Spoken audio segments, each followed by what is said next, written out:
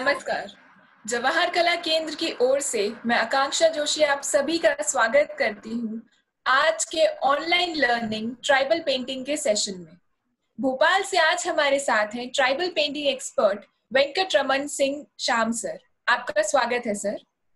आपके द्वारा रचित कलाकृतियाँ Bharat, London, Paris, California, Australia आदि देशों के प्रतिष्ठित एग्जीबिशंस में प्रदर्शित हुई हैं। 2002 में आपको मध्य प्रदेश स्टेट अवार्ड से सम्मानित किया गया। ओजस आर्ट अवार्ड, कारीगर संस्कृति अवार्ड और ऐसे ही अनेक अवार्ड से आपको सम्मानित किया गया है।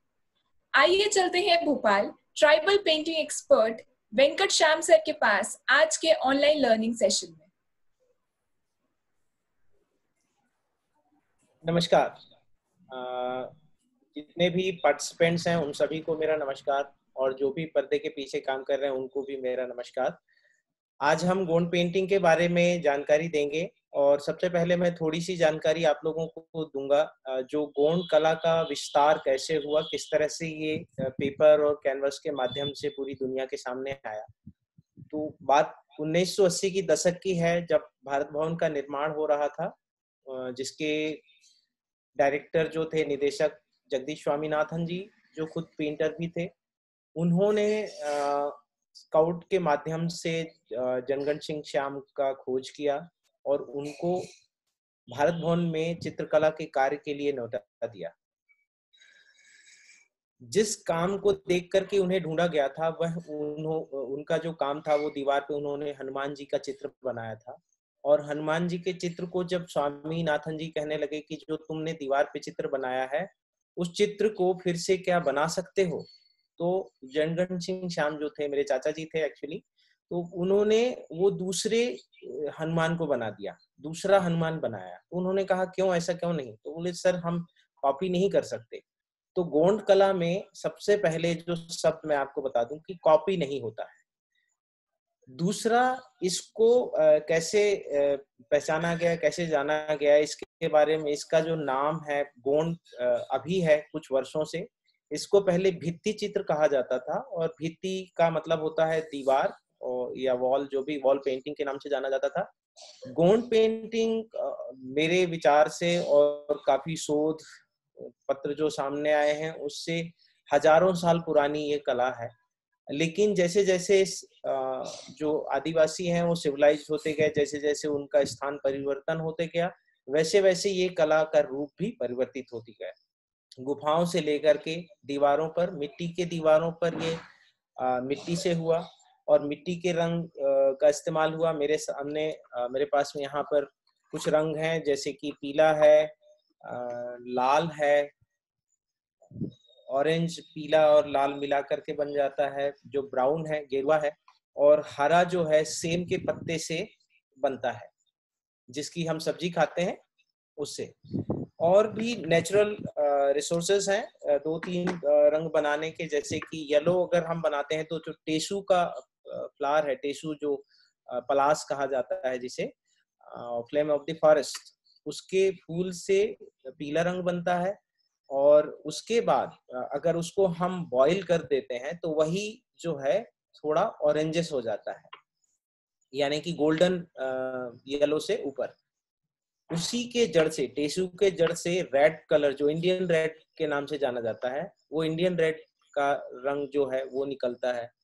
और शोधकर्ताओं ने जो केव पेंटिंग्स की बात अगर हम करते हैं तो केव पेंटिंग्स में जो रेड कलर जो ब्राउन कलर आप देख पाते हैं, या देखे हैं, देखे होंगे, वह जो है, टेसू के जो जड़ का जो रस है, वो है, क्योंकि सैंड स्टोन है वो, और सैंड स्टोन होने के कारण वो जो जितना रंग है, वो सक कर गया है और उसके बाद उसको निकालना मुश्किल है। तो इसी तरह से लेमन स्टोन वो भी है, वो उससे भी वाइट कलर माफ़ कीजिए सफ़ेद रंग जो है वो बना है। तो ऐसे वहाँ पे लाल और पीले रंगों का इस्तेमाल लाल और सफ़ेद रंग का इस्तेमाल हुआ है। उसी तरह से गाँव में भी हम लोग वो इस्तेमाल करते थे। बैम्बू स्टिक से हम लोग या बैम्बू की कुची बना करके पेंट किया करते थे। तब हमारे पास ब्रशेस या किसी और तरह के माध्यम नहीं होते थे। और क्योंकि मिट्टी के रंग होते थे, मिट्टी के रंग में हमारे यहाँ काली, पीली, लाल, सफ़ेद ऐसे चार प्रकार की मिट्टी है जिससे दीवारों पर फ्लोर पे ये डिज़ाइन होता था। और जिसे बाद में जब भारत भवन का निर्माण हो गया और भारत भवन नाइनटीन के दशक में जब वो बन गया तो वहाँ जनगण सिंह श्याम ने इसे पेपर और कैनवस के माध्यम से पहली बार प्रस्तुत किया। बहुत जल्दी उन्हें शिखर सम्मान मिला और ये कला दुनिया के सामने देखने को मिली और उन्हें जो पेरिस है पोम्पेदू 1998 में भारत महोत्सव में आमंत्रित किया गया, जिसमें उन्हें धरती के जादूगर के नाम से जाना गया। और तब तब से ये कला एक विशेष रूप में पहचानी जाने लगी और उसके जो फॉलोअर्स थे हम, जब उनकी डेथ 2001 में हुई, जापान में उन्होंने आत्महत्या कर ली। उसके बाद जो हम उनके सागिर्द कहें या फॉलोअर्स जो थे, उनको लोगों ने ढूंढना स्टार्ट किया, जिसमें से मैं एक हूँ और आपको आज मैं उस कला के बारे में ज़्यादा तो नहीं, लेकिन थोड़ी थोड़ी जो बारीकियाँ हैं वो बता दूँगा। विशेष करके हम लोग एक दो तीन चीज़ें बताना चाहेंगे कि ये कैसे काम करती है और किस तरह से इसको आपको जानना है।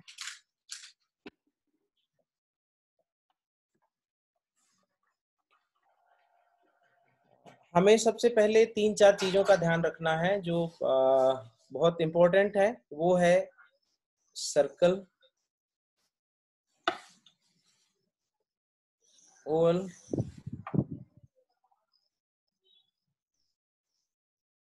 लाइंस उसमें आपकी आड़ी, तिरछी, खड़ी। ऐसी लाइंस अगर आप बना पाते हैं तो पेंटिंग करने में आसानी बहुत हो जाती है। जैसे कि अगर हम इसको सपोज़ एक आकार देना चाहें, मान लीजिए हमने एक गोला बनाया और उसके नीचे एक ओवल बनाया और ओवल को इस तरह से ऐसा करके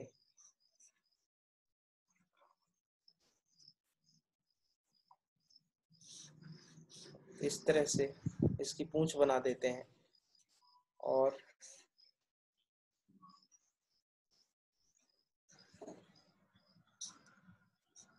ये तो ये पक्षी बन जाता है। बाद में हम जो ये भीतरी हिस्सा है, इसको हम इरेज कर सकते हैं पेंसिल रबर के माध्यम से और या फिर कलर के माध्यम से इसको हम छुपा सकते हैं। तो ये एक बहुत छोटा सा एग्ज़ाम्पल है जो आप लोग अगर ये कर सकते हैं, क्योंकि ओवल सर्कल लाइंस हाँ हाफ़ मून जो है, इस तरह की जो हाफ़ सर्कल जिसको हम बोलते हैं हाफ़ सर्कल भी अगर आप कर पाते हैं तो बहुत अच्छे से आप पेंटिंग बना सकते हैं। गोंड पेंटिंग में विशेष करके जो आ, काम किया जाता है वो है सिर्फ़ और सिर्फ़ प्रकृति के जो आसपास जो वस्तुएँ हैं जो क्रिएचर्स हैं या और कुछ भी हैं उनको लेकर के ही हम काम करते हैं। क्योंकि जो आदिवासी है वो प्रकृति के पास रहा है उसकी जो विशेषता है और उसके बारे में जानने का जो प्रयास है, उसने किया है। तो सब, आज हम आपको, आप लोगों को शेर बनाना सिखाएँगे। टाइगर है। आपके सामने पेपर बराबर दिखाई दे रहा होगा और इसमें मैं ड्रॉ करके बताता हूँ, फिर हम काम करेंगे। तो आराम से आप भी इसको ड्रॉ करिएगा।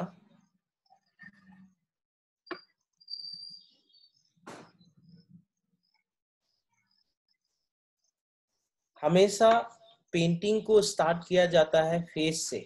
किसी भी पेंटिंग को शुरू करने से पहले हमें फेस बनाना ज़रूरी है, क्योंकि उसके अकॉर्डिंग पूरी बॉडी बन जाती है। जितना बड़ा फेस होगा, उसके मुताबिक आपका जो शरीर है या किसी भी जीव जंतु का शरीर है, उसका शरीर निर्मित होता है।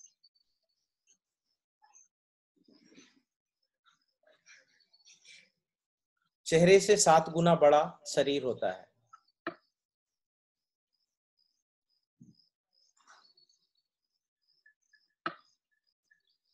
इस तरह से मैं ये बात और भी कहना चाहूँगा कि आप लोगों को गोंड में एक विशेषता है जो सभी कलाकारों की अपनी अपनी एक पहचान है और उस पहचान के तहत वो लोग अपना काम करते हैं जिसमें जो डिज़ाइन को लेकर के है। और डिज़ाइन हमेशा अलग अलग तरीके से बनाया जाता है। आ, क्योंकि अलग हर एक कलाकार का अपना एक स्टाइल है उसकी अपनी सोच है और वो सब प्रकृति से रिलेटेड है। जो भी कलाकार पेंटिंग बनाता है उसकी अपनी एक विशेष शैली है। शायद ड्राइंग में थोड़ी सी समानता हो लेकिन आ, या फिर ड्राइंग में अगर असमानता है तो जो पैटर्न है, उसमें समानता हो जाएगी या हो सकती है क्योंकि काफ़ी लोग एक ही पैटर्न को फॉलो कर रहे हैं और जो मेरा पैटर्न है सेमी सर्कल वाला, उसे फॉलो कर रहे हैं। तो मैं चाहता हूँ कि स्वयं की अपनी खुद की भी पहचान होनी चाहिए। गोंड पेंटिंग में ऐसा माना जाता है। ऐसे हमारे गुरु जो जनकन सिंह श्याम थे, जो pioneer of the Gond art कहे जाते हैं तो उन्होंने हमें बताया कि अगर आपकी स्वयं की पहचान बनानी है और स्वयं का काम दिखाना है तो आपको अपनी एक पहचान बनानी होगी आपको अपनी एक दृष्टि रखनी होगी अलग जिससे आपका जो पेंटिंग है या जो चित्रण है वो अलग दिखाई दे। ये ड्राइंग तैयार है। आ, मैं तीन जो पाँच स्टेप्स हैं जो फाइव स्टेप्स जिसको हम आ, सभी को बताते हैं उसमें से सबसे पहला है लिखना चाहें तो लिख भी सकते हैं। पहला है कॉन्सेप्ट किसी भी विषय को सोच करके उसे हमें अपने मन में उतारना है मन मस्तिष्क में उसको फ़ीड करना है ताकि वो आगे आपका हाथ जो है उसे ऑर्डर कर सके। तो अगर हमें टाइगर बनाना है, हमें बर्ड बनाना है, हमें कोई भी क्रिएचर बनाना है या ट्री बनाना है तो हमें सबसे पहले उसका ध्यान करना होगा, उसको अपने अंदर उतारना होगा, अपने कंप्यूटर में उतारना होगा, अपने माइंड में उसको सेट करना होगा, तब वो जैसे ही सेट हो जाता है आपके माइंड में तो आपका हाथ जो है ऑटोमेटिक उसे ऑर्डर कर देगा। जिस चीज़ को आप करना चाहेंगे, जिस चीज़ को लिखना चाहेंगे या बताना चाहेंगे, वही चीज़ आपको दिखाई मतलब बनेगा और आप कर पाएँगे।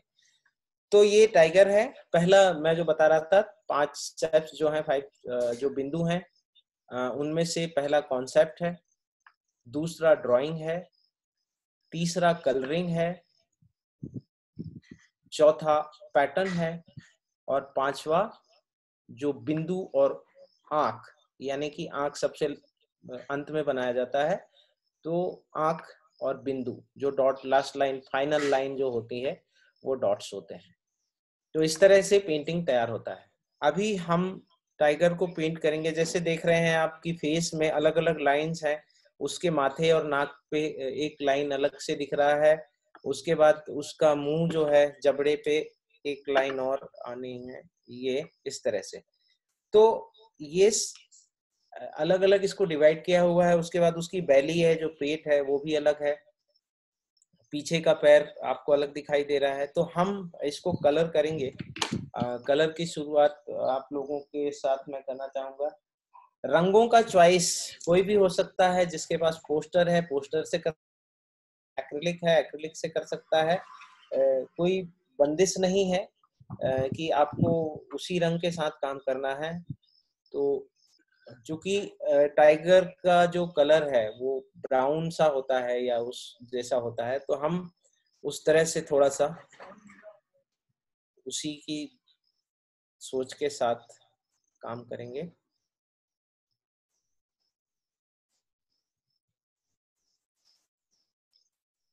इस तरह से आप पेंटिंग शुरू कर कर सकते हैं। आराम से करिएगा। जो एजेस हैं, एकदम शार्प होने चाहिए। एजेस बिल्कुल भी जो जिग जैक या ब्रश का जो स्ट्रोक है, वो ठीक ना हो या इस तरह से कुछ नहीं होना चाहिए। एजेस बहुत शार्प होने चाहिए। हमेशा इस बात का ध्यान रहना चाहिए कि जो एजेस है, वो शार्प हो।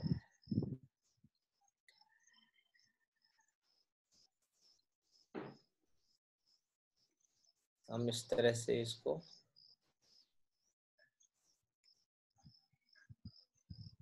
पेंट करेंगे।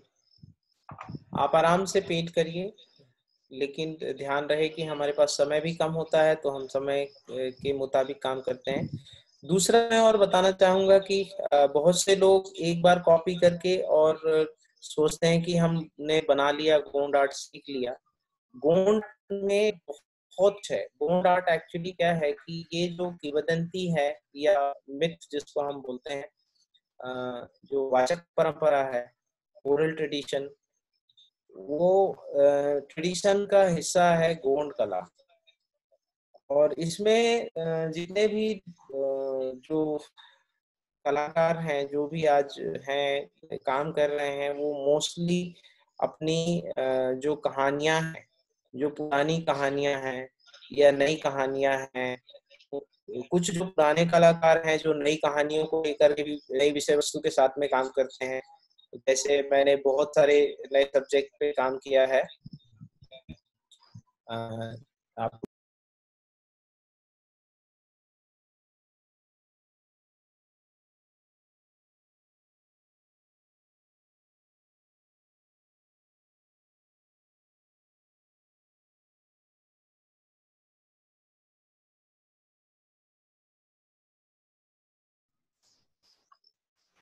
जी तो जो छब्बीस ग्यारह का जो हमला हुआ था, अटैक हुआ था, उस समय मैं वही था तो उसकी कहानी को मैंने पेंट किया, पूरा कहानी बनाया, किस तरह से आतंकवादियों ने हमला किया, कैसे आए, कैसे, क्या हुआ।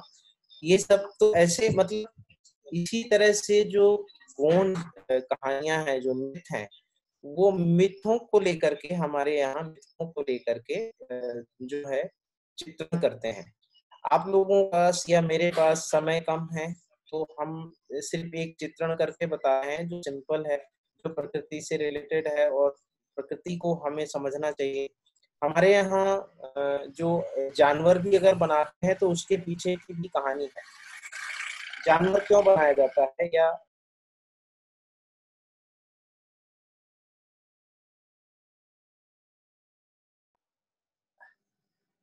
कारण कि इसमें क्या होता है, बहुत सारे जो हमारे जो गोत्र हैं, गोत्र चिन्ह हैं आप देखेंगे कि हमारे यहाँ साढ़े सात सौ गोत्र हैं।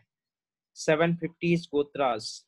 उन सरनेम उनके जो सरनेम है, जो उनके गोत्र चिन्ह है, उनके गोत्र चिन्हों के कुछ टोटम्स जिसे कहा जाता है, गोत्र चिन्ह भी हैं जैसे किसी का शेर है किसी का बेयर है, किसी का फ़िश है, किसी का टर्टल है, किसी का बर्ड है तो इस इस तरह से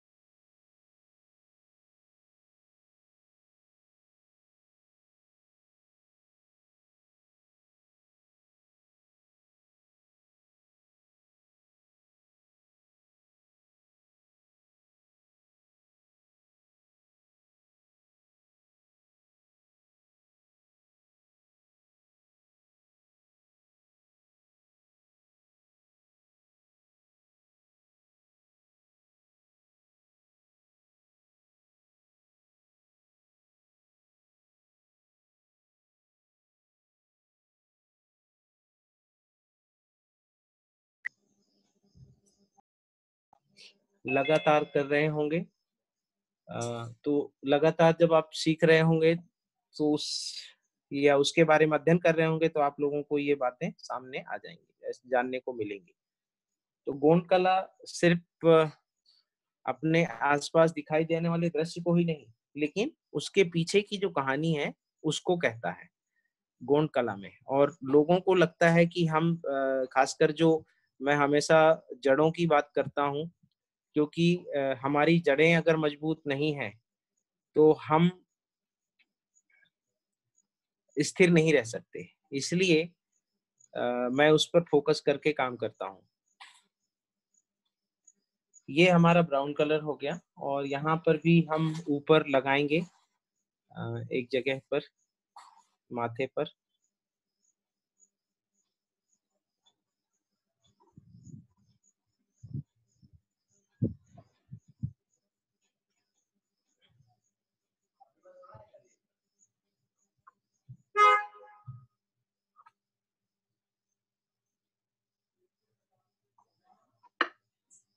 इस तरह से। ऐसे आप लोग पेंट कर सकते हैं, पूरा पेंट कर लीजिए।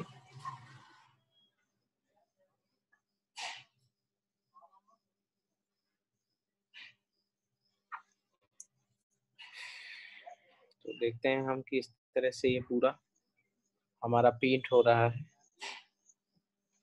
अभी हम दूसरा रंग लेंगे।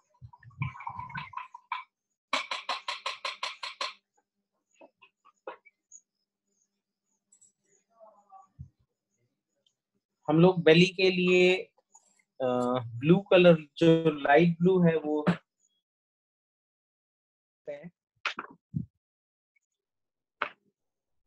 पर्शियन ब्लू का जो लाइट, उसमें व्हाइट मिक्स करके हम काम कर सकते हैं, इस तरह से। अल्ट्रा मरीन का सॉरी मुझे उम्मीद है कि सभी को बराबर दिखाई दे रहा होगा। और सुनाई भी दे रहा होगा।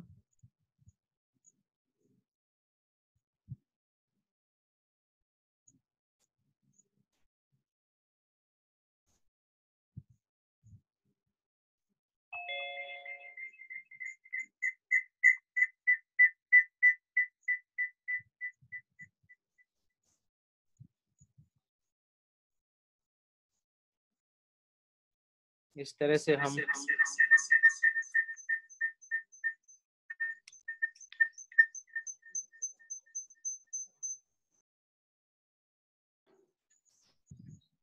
ये कलर कर सकते हैं।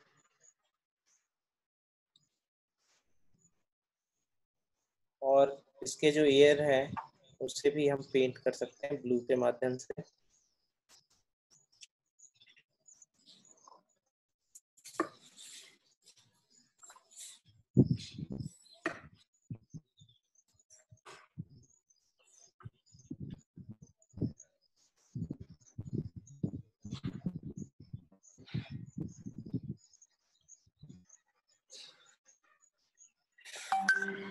मैं समझ पाऊँगा क्योंकि कल करने में थोड़ा समय लगता है।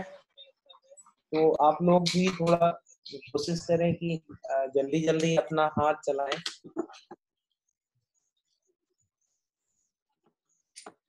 अब हम रेड कलर लेंगे।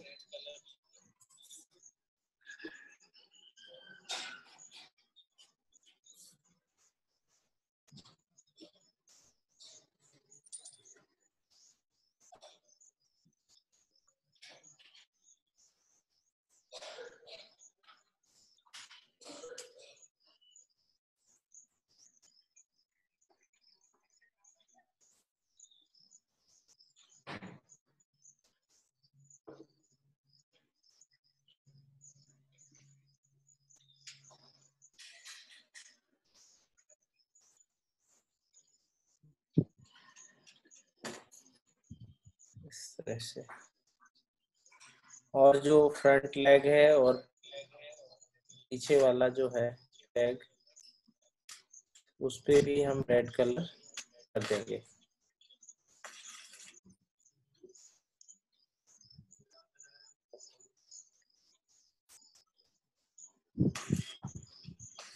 गौंड कला एक्चुअली जो है वो वाचक परंपरा पे निर्भर है और जो मैं बताना चाहूँगा कि एक म्यूज़िक इंस्ट्रूमेंट है बाना।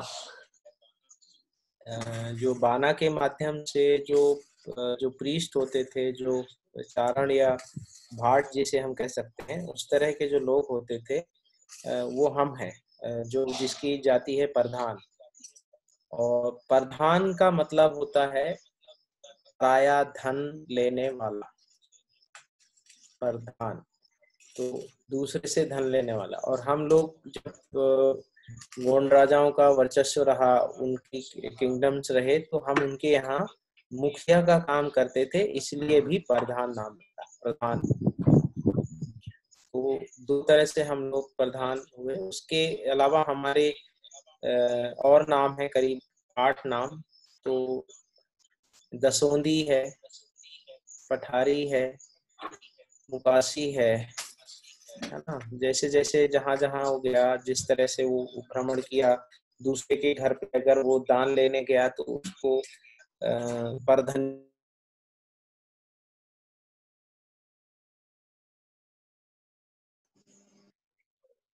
हमारी दसों नाम है। दसोंदी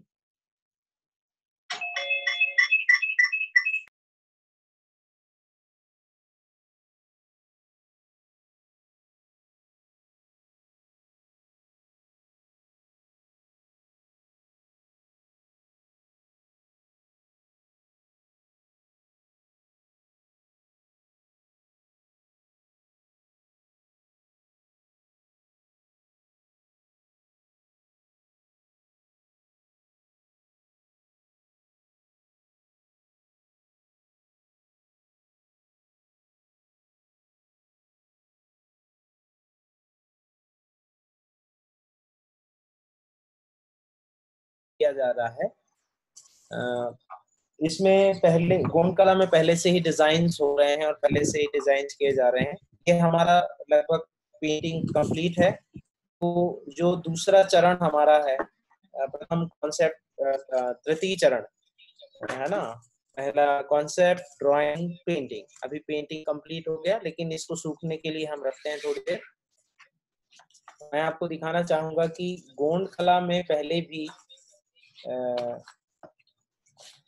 डॉट डिज़ाइन और सेप को लेकर के काफ़ी कुछ जानकारियाँ रही हैं। ये देख पा रहे हैं आप किस तरह से है। और जो डॉट्स की बात अगर मैं करूँ तो आप देखेंगे इस तरह से। डॉट्स ऐसे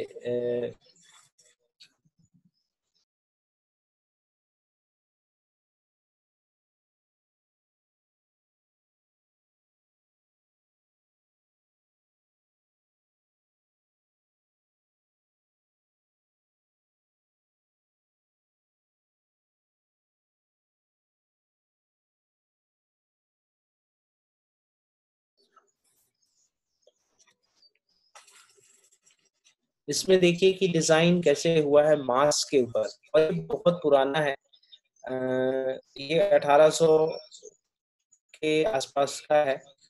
मतलब 100 200 साल 150 साल पुराना जो भी मास्क है ये। तो उस समय भी गोंड कला में जो बिंदु या डिज़ाइन की बात हम कहें तो वो कंटिन्यू था। क्योंकि समय के अनुसार सब बदलते गया और उसकी आकृति भी बदलती गई है। जैसे कि आज गोंड में लोगों को कहा जाता है, वैसे गोंड पेंटिंग हम, मैं नहीं कहता, ये प्रधान गोंड चित्रकला है, या भित्ति चित्रकला है। जो मुझे पुरस्कार मिला, उस पुरस्कार का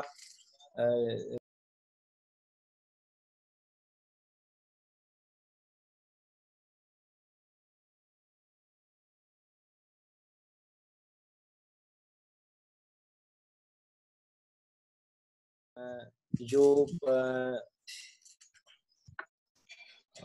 इसके जानने वाले या कलाकार को एक प्लेटफॉर्म देने वाले। जैसे कि जब बच्चा जन्म लेता है तो उसका नाम वो स्वयं नहीं रख पाता है। या उसे स्वयं अपना नाम नहीं मालूम होता है कि मेरा नाम क्या है। तो गोंड कला ऐसी ही स्थिति में रही है। उसके बारे में लोगों को या हम जो लोग, जो भी पेंटर थे, हमें पेंट करने वाले, हमें इस बात का ज्ञान नहीं था कि हम इसको क्या कहें। तो लोगों ने इसको, चूँकि एक विशेष समुदाय और एरिया है, उस एरिया से हम लोग बिलोंग करते हैं, जिसको गोंडवाना कहा जाता था।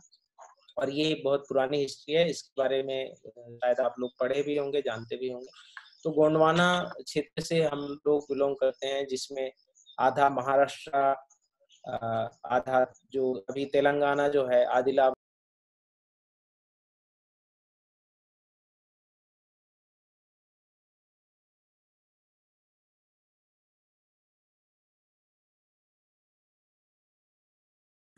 उड़ीसा और उसके बाद यूपी का हिस्सा, राजस्थान, गुजरात का हिस्सा ये सब हिस्से मिलाकर के गोंडवाना कहा जाता तो गोंडवा का जो पार्ट है, उसमें उड़ीसा भी आता था और जो अभी छत्तीसगढ़ है, वो तो ऑलरेडी था ही। तो ये सारे भाग को गोंडवाना भूभाग कहा जाता था और इसी वजह से हम लोगों को गोंड कहा गया। और इस पेंटिंग का नाम भी गोंड कहा गया। क्योंकि ये उस एरिया से आता है। कि चूँकि हम लोगों को पूछा जाता था तो हम लोग बताते थे कि हम लोग प्रधान हैं। तो प्रधान जब बोलते थे तो लोगों को समझ में नहीं आता था कि प्रधान कौन सी जाति होती है। और तब उन्हें बताना पड़ता था कि प्रधान क्या होता है। इसी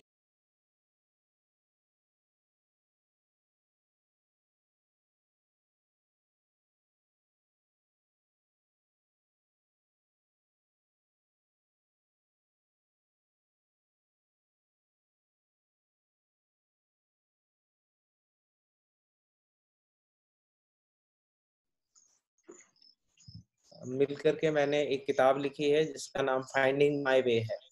जिसमें कोई पेज नंबर नहीं है, और ये करीब, इसमें 200 के करीब ड्राइंग्स हैं। तो जिस पेज को आप खोलेंगे, वहाँ पे आपको ड्राइंग नज़र आएगा और कहानी नज़र आएगी। और ऐसा नहीं है कि ये डिसकंटिन्यू होता है, ये कंटिन्यू रहता है। कहीं से भी किसी भी पेज को आप उठा करके पढ़ेंगे तो आपको लगेगा कि एकदम फ्रेश है और फ्रेश पार्ट को मैं पढ़ पा रहा हूँ। तो यहाँ इसमें सिर्फ़ वही नहीं, उसके अलावा भी बहुत सारे किसी भी पेज को आप देखेंगे तो कहानियाँ कह रहे हैं, ये कहानियों को बता रहे हैं। जैसे बाना की बात कर रहा था, ये म्यूज़िक इंस्ट्रूमेंट देख पा रहे हैं, यहाँ पर, जो बाना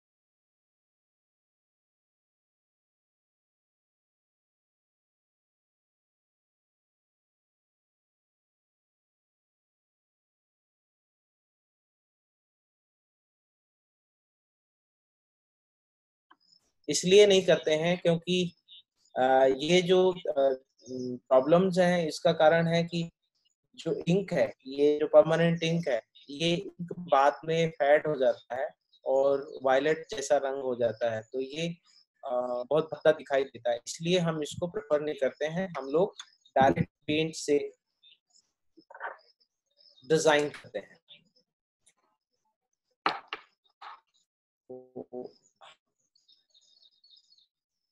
मेरा जो पैटर्न है उसके बारे में भी बताना चाहूँगा कि जो मेरा पैटर्न है वो सेमी सर्कल है। जो सेमी सर्कल को हम स्टार्ट करते हैं, यहाँ से मान के चलिए इस तरह से।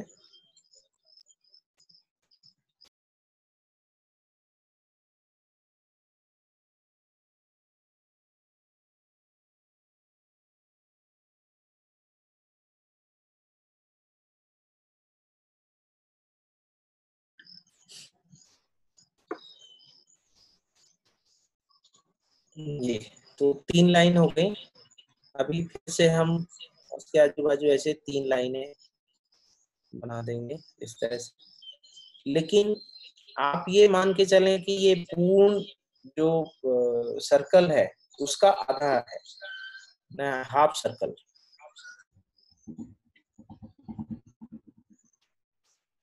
इस तरह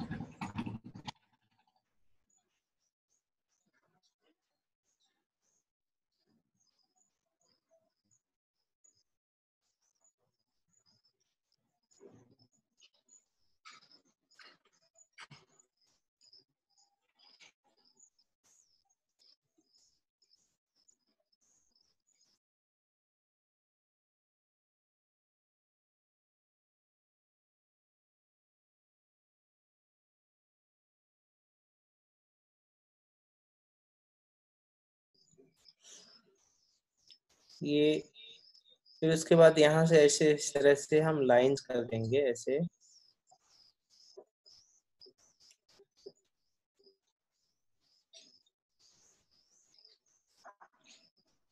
ऐसे पाँच लाइनों के बाद फिर से हम दूसरी दिशा से लाइन स्टार्ट करेंगे ऐसा। इस तरह से। यहाँ पर भी वही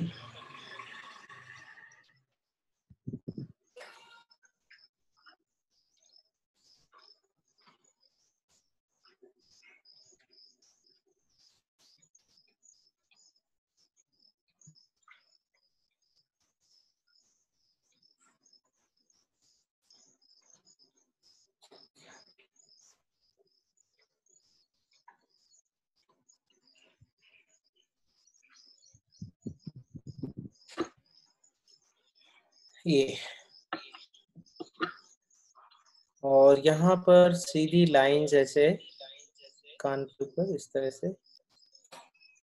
लेकिन इक्वल होना चाहिए। दूर दूर नहीं होनी चाहिए।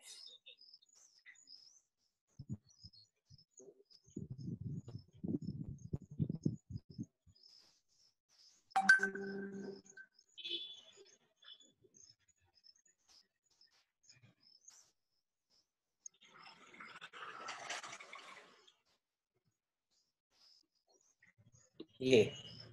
अभी फेस कंप्लीट हो गया लगभग। हम अब बॉडी में काम करेंगे। तो वही सेमी सर्कल जो है। हम हम पाँच लाइनें बनाएँगे।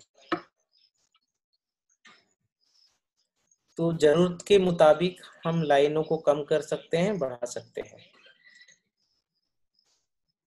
अगर बड़ा फिगर है या बड़ी स्केल पे बड़े स्केल पे काम कर रहे हैं हम लोग तो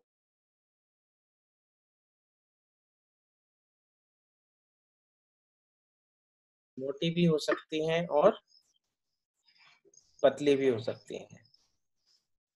तो हर बात का ध्यान रखना होता है कि किस तरह से हमको काम करना है। दूसरा जो आ, सर्कल की बात है, वो सर्कल जो सेमी सर्कल में बना रहा हूँ, उसको कंटिन्यू एक ही डायरेक्शन में लेके जाना होता है। ना कि अलग डायरेक्शन से। अब जैसे मैं ये कर रहा हूँ तो यहाँ से मैं स्टार्ट नहीं होऊँगा। दूसरे कोने से स्टार्ट नहीं होऊँगा। तो एक ही कोने से हम स्टार्ट होंगे और दूसरे कोने को एंड तक के जाएँगे और उसके बाद फिर वहीं जहाँ से हमने शुरू किया था, उसी तरह से हम फिर शुरू करेंगे। तो ये तरीका होता है पैटर्न का।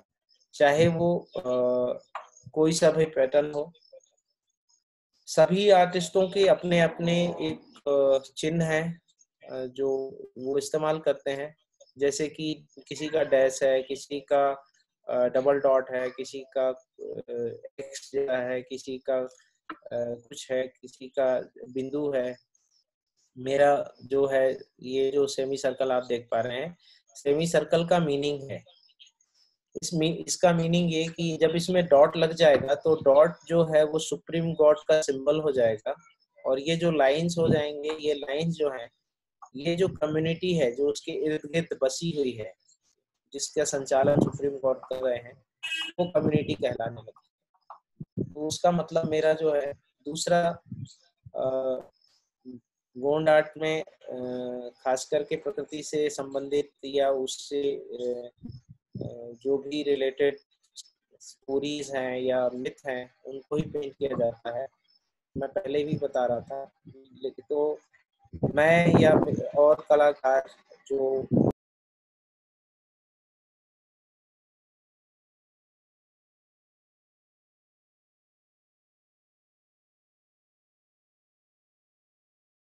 सीनियर हैं, वो लोग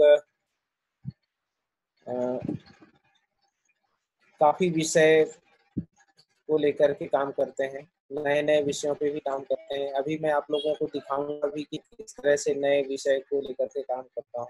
हमारे पास समय अभाव है तो हम आपको ये मैं बताते चल रहा हूँ कि किस तरह से हमें ये करना है। दूसरा, ये जो आप देख पा रहे हैं, ये कंटिन्यू जो मैं कर रहा हूँ, ये आपको कंटिन्यू करना है।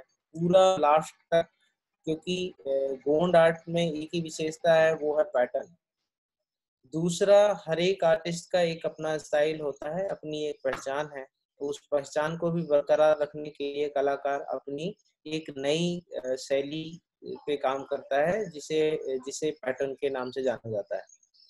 इसी वजह से तारा पब्लिकेशन चेन्नई जो है, उन्होंने एक सिग्नेचर बुक निकाला था जिसमें हर एक कलाकारों का अपना पैटर्न है, उनका स्टाइल है।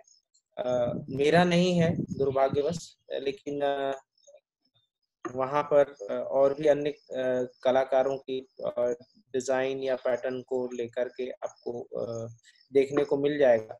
जो भी इच्छुक व्यक्ति हैं जो चाहते हैं कि हम उसको देखें या समझें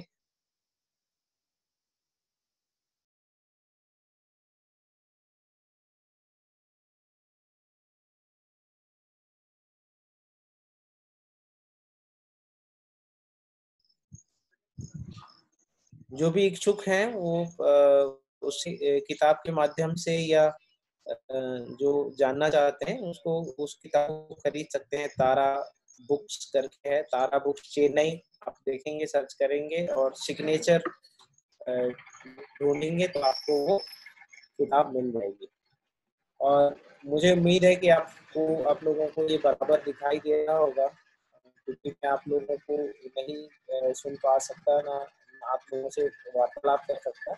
लेकिन मेरी बात आप लोगों तक बराबर पहुँच रही है ये ऐसा मान रहा हूँ मैं क्योंकि मेरा कनेक्शन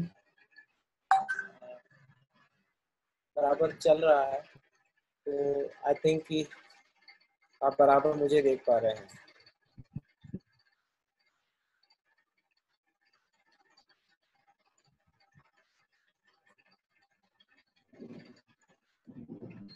ऐसा इस तरह से कंटिन्यू करना है आपको। तो जो सेमी सर्कल है फाइव लाइन ये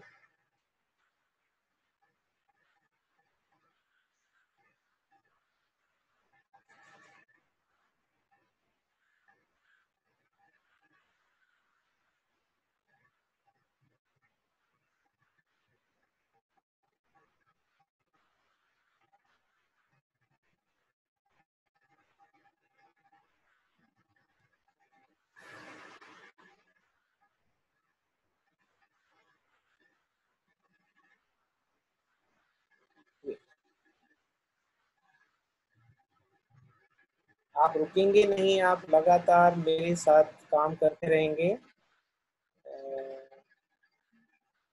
क्योंकि अगर रुक जाएँगे तो आपको ये लगता है मुझे कि फिर आपका काम भी रुक जाएगा। और दूसरा और बताना चाहूँगा मैं कि गोंड आर्ट में कॉपी मैं शुरुआत में ही बताया था कि कॉपी नहीं होता है। तो ये ना समझे कि हमने शेर बना लिया तो हमने गोंड आर्ट को जान लिया।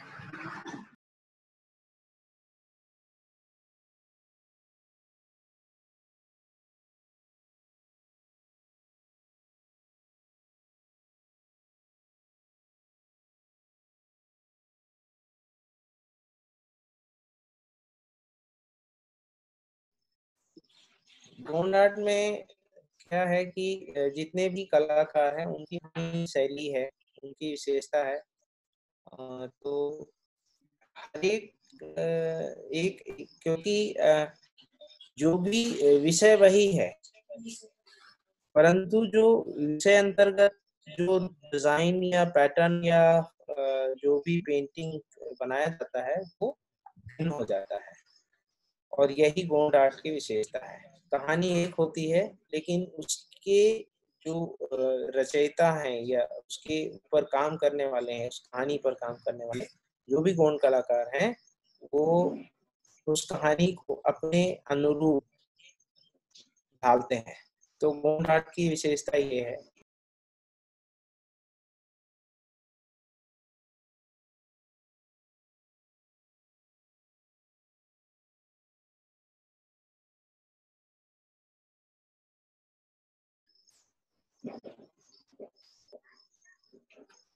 क्योंकि आप जो बनाएँगे वो आपका होगा।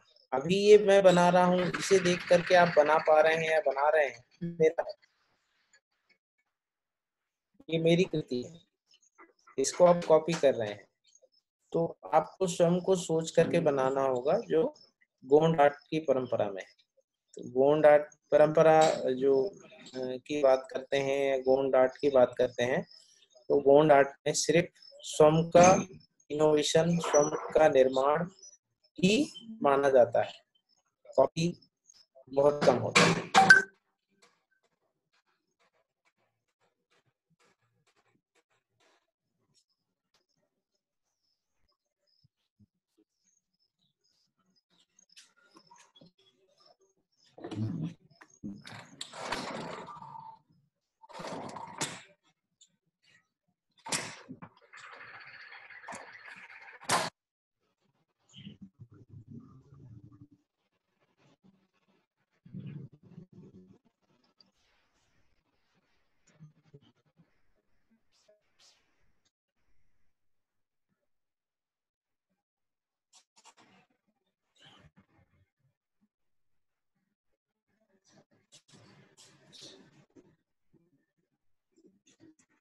इस तरह से आप इसको पूरा कंप्लीट करेंगे।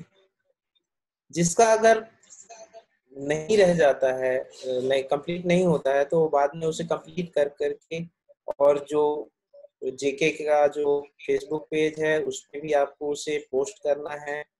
और जो बातें आपने सीखी हैं, जिस बात को आपको मैंने बताया या समझ में आया है, उस बात को आप कर सकते हैं कला की विशेषता क्या है, किस तरह से है। ये अच्छा लगेगा हमें भी जान करके कि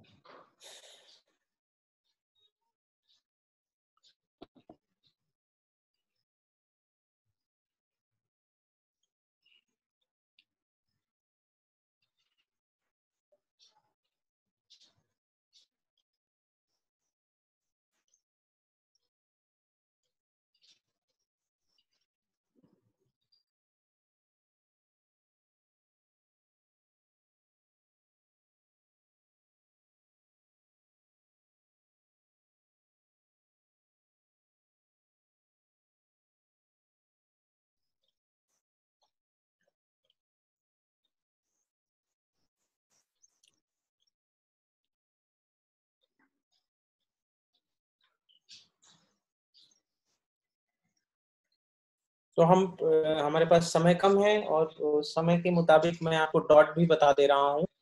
क्योंकि डॉट ज़रूरी है, अगर आप वो नहीं कर पाएँगे तो फिर आप लोगों को दिक्कत होगी। तो इस तरह इसको कंटिन्यू कर लेंगे और, जो बेली वाला हिस्सा है, उसमें लाइंस आएँगे, ऐसे। ये देखिए फाइव लाइन अब हम अपोजिट डायरेक्शन में फिर से फाइव लाइंस कर देंगे, इस तरह से। ऐसा। फिर यहाँ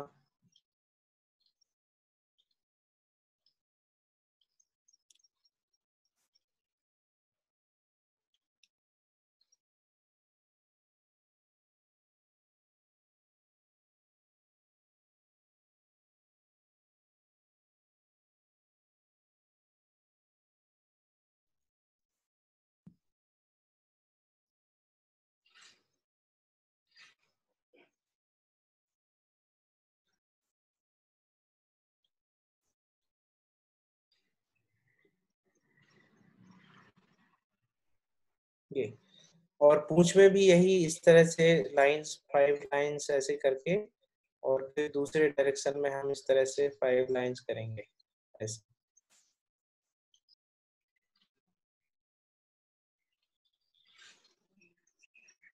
तरह से।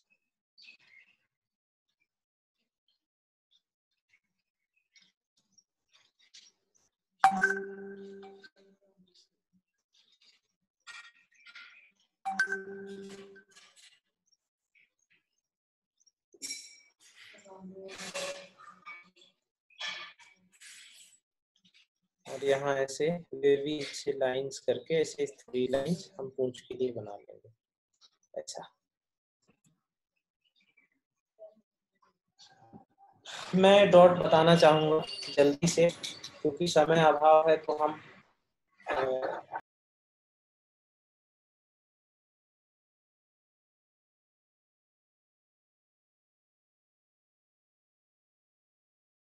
ब्राउन के ऊपर हम येलो से डॉट करेंगे इस तरह से।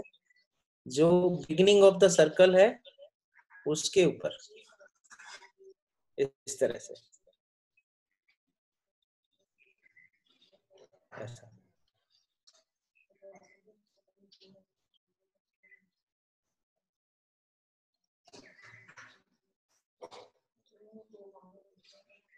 एक घंटे में तो पूरी बात नहीं सिखाई जा सकती, लेकिन कुछ बातें हैं जिनको आपको सुनना, समझना है और वही चीज़ें ही है जिसके माध्यम से आप काम कर सकते हैं। जैसे कि स्वयं के इनोवेशन होने चाहिए, चाहे कहानी कोई भी हो पात्र कुछ भी हो सकता है, लेकिन स्वयं का होना चाहिए। ऐसा गोंड आर्ट में है, क्योंकि स्वयं की सोच से जो आप चित्र बनाएँगे या जो चित्रण करेंगे वो आपकी अनुभूति होगी, आपका खुद सोचा, समझा चित्रण होगा।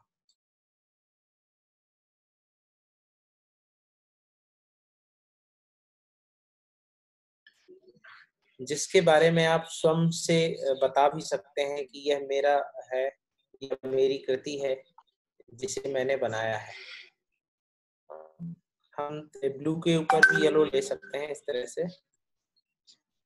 जो लास्ट लाइन है, उसके ऊपर आपको डॉट करना है। उसके भीतर। ये जो आखिरी लाइन है।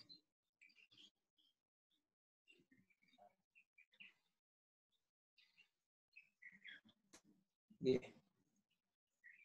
ऐसा आप इसको पूरा फिनिश कर लीजिएगा। और अंत में आप जो जेके का, जयपुर कला केंद्र का फेसबुक पेज है, उस पर साझा भी करेंगे और अपनी बात भी कह सकते हैं, जो बात आपको कहनी है, कि आपने क्या सीखा और आपको इसका अनुभव कैसा रहा, ये सारी बातें।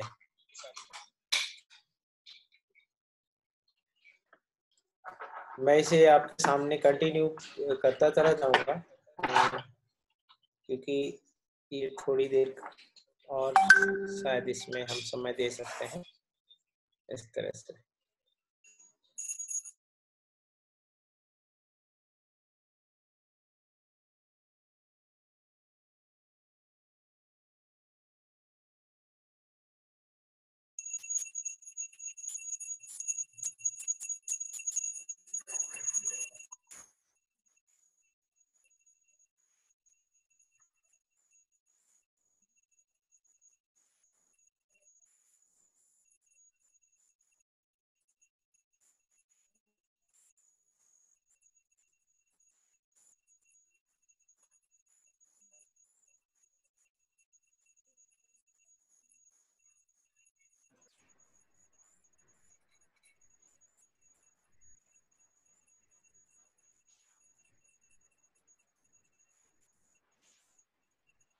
सर बहुत ही सुंदर तरह से आपने हमें गोंद आर्ट के बारे में सिखाया इसकी बारी बारीकियों के बारे में सिखाया। आपका बहुत बहुत शुक्रिया सर। सर कुछ सवाल थे आ, इस सेशन से रिलेटेड हमारे पास। सर आप सुन पा रहे हैं मुझे? हाँ मैं सुन पा रहा हूँ। बोलिए। सर कुछ सवाल थे जैसे अभी तो आप जो हमें सिखा रहे हैं वो आपने एक ड्राइंग शीट के ऊपर सिखाया है। क्या हम इसे किसी कपड़े के ऊपर भी बना सकते हैं? देखिए इसको बहुत सारे मीडियम्स के ऊपर उपयोग किया गया है। गोल्ड पेंटिंग को। आ, काफ़ी मीडियम्स इसमें इस्तेमाल किए गए जैसे आ, मात्र कपड़ा ही नहीं साड़ी के ऊपर पेंट हो रहा है स्टोर पे पेंट हो रहा है। उसके अलावा जो टेबल टॉप है या डोर पैनल है। जी सर हाँ। तो उनकी उनकी इस्तेमाल किया गया है। और करते आ रहे हैं, मैंने बहुत काम किया है। जैसे लेडीज़ पर्स है, उनके ऊपर भी जो लेदर पर्स है, उनके ऊपर भी काम किए हैं। क्लचेस हैं, और जो बटुआ होता है, जैसे कि आपने जयपुर में देखा होगा, जो धागे से खुलता और बंद होता है, जो बटुआ उस पर भी मैंने बहुत करीब बहुत काम किया। तो ये सब की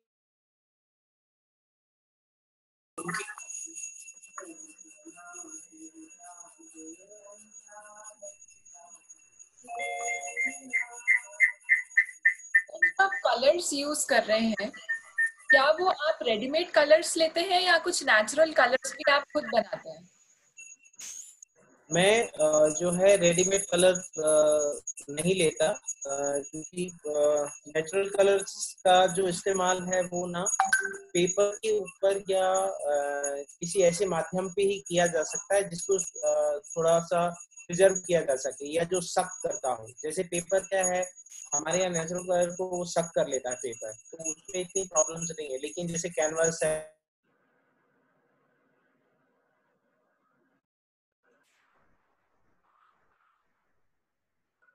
सर शायद आपका माइक ऑफ़ हो गया है। जो एक्रिलिक एक्रिलिक कलर है उनके माध्यम से हम सारे चाहे क्लोथ्स हो या और भी मीडियम्स है, चाहे वुडन है या वॉल है सभी जगह उसी से करते हैं। क्योंकि अभी जो एक्रिलिक जो कलर्स हैं, वो एक्सटीरियर इंटीरियर दोनों तरह के आते हैं। तो हम अगर एक्सटीरियर काम कर रहे होते हैं या पेंट कर रहे होते हैं तो उसका घर के अंदर कर रहे होते हैं तो उसका काम उस तरह का काम करेंगे सर आपके द्वारा रचित आपकी कलाकृतियाँ क्या आप हमें कुछ दिखा सकते हैं? जी जी जी ज़रूर। मैं दिखाऊँगा ज़रूर। देखिए, कुछ जो पेंटिंग्स है, जैसे कि हम, मैं बता रहा था कि नए सब्जेक्ट पे भी काम करते हैं तो ये देख पा रहे हैं आप, यहाँ पर जो नट है, नट जनजाति है, वो किस तरह से काम करती है या वो अपना जीवन भरण पोषण करती है, उसके बारे में है एक चित्रण। दूसरा जो पेंटिंग है, ये देखिए ये जैक फ्रूट है। जी। जैक फ्रूट के बारे में आप जानते ही होंगे। तो ये है रंगों का प्रयोग भी अलग अलग होता है। दूसरा एक विषय देखेंगे जिसमें हम माइथोलॉजी से संबंधित है। इसमें हनुमान पेड़ की डाल पकड़े हुए हैं उड़ रहे हैं। जी।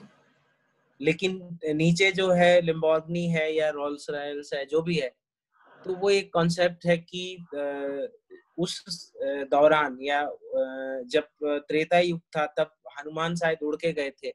लेकिन आज जो है हमारे पास उड़ने के अलावा भी और सारे साधन है तो शायद संजीवनी लेने जाना होता तो हम लेम्बोर्गनी से या किसी और कार से चले जाते जो सबसे तेज गति से चल रहा हो। जी सर। आ, इसका इसका ये मतलब है कि हम जीव जंतुओं या पेड़ पौधों के अलावा भी कोई और सब्जेक्ट ले सकते हैं गोंद आर्ट में? हाँ बहुत सब्जेक्ट बहुत हैं। किसी भी सब्जेक्ट को ले सकते हैं लेकिन उसके पीछे की आपकी कहानी आपको पता होनी चाहिए। कहानी विशेष है। गोंड में मैंने जैसे बताया ना कि ये टाइगर जैसे सिंपल है टाइगर नहीं है। वो एक, एक किसी चीज़ का साइन है कि वो जो दर्शा रहा है वो कहानी बता रहा है। तो कहने का मतलब है कि गोंड कला इतनी फ़ेमस क्यों हुई है? क्योंकि उसमें कहानी है। उसके पीछे एक सीन दर्शाता है जो भी है जो सीन है वो दिखाई देता है। तो इस वजह से चूँकि हमारे पास समय कम होता है और समय कम होने की वजह से सिर्फ़ ये हम शेर दर्शाती है लेकिन उसके जो रिलेटेड जो स्टोरी है उसको भी हम पेंट करते हैं। जी। आ, सर आपका बहुत बहुत शुक्रिया इतना सुंदर आर्ट सेशन लेने के लिए। बारीकियाँ सिखाने के लिए गोंद आर्ट की। धन्यवाद, आकांक्षा आपको और आप सभी को जितने भी टीम जो जयपुर कला केंद्र में काम कर रहे हैं, उस सभी टीमों को और जो जूम के माध्यम से जो भी टीम काम कर रहे हैं वो और किरण सोनी मैम को भी मेरा बहुत बहुत धन्यवाद। उन्होंने मुझे ऑफ़र दिया इस काम कला को सिखाने के लिए डिजिटल माध्यम से। और जितने भी पार्टिसिपेंट्स हैं, उन सभी को भी मेरा धन्यवाद बहुत बहुत धन्यवाद। आप लोग आशा करता हूँ कि जो भी सीखे हैं, मैं फिर से कहूँगा, उनको आप पूरी तरह कंप्लीट करके और जयपुर कला केंद्र के फेसबुक पेज पे अपलोड कीजिए उन्हें और अपनी बात, जो भी आपने सीखी है, जो आपको संशय है, उस बात को भी शायद आप साझा कर सकते हैं। ऐसा मैं मानता हूँ ताकि आगे, आने वाले भविष्य में हम उसके बारे में विचार करेंगे। धन्यवाद। बहुत बहुत शुक्रिया सर।